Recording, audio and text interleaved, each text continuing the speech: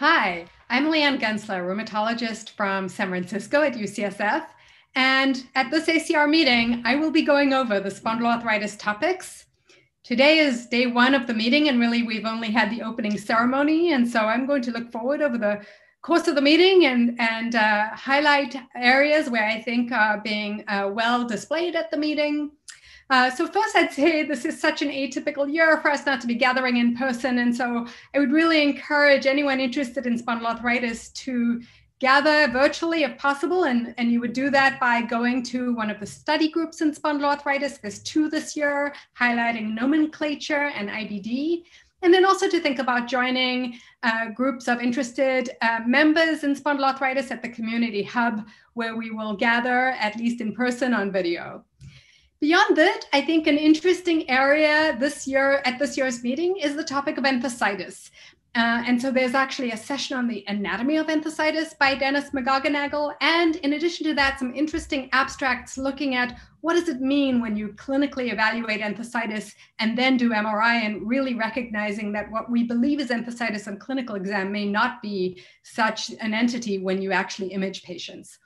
Beyond that, there's a session on MRI and the utility of MRI um, for the diagnosis of axial spondyloarthritis. And so this will be a very pragmatic uh, session where we'll show lots of imaging. And, and then following that session, we'll go to the community hub where we'll further discuss uh, images and you will be able to participate as a, um, as a member uh, interpreting imaging studies. There is a lot at this meeting on novel treatments to think about. So uh, in, in particular, several abstracts looking at JAK inhibitors in spondyloarthritis. There is uh, the first abstract looking at upadacitinib in psoriatic arthritis with a biologic DMARD inadequate response. In addition, the, the phase three study is a late breaker for tofacitinib in ankylosing spondylitis.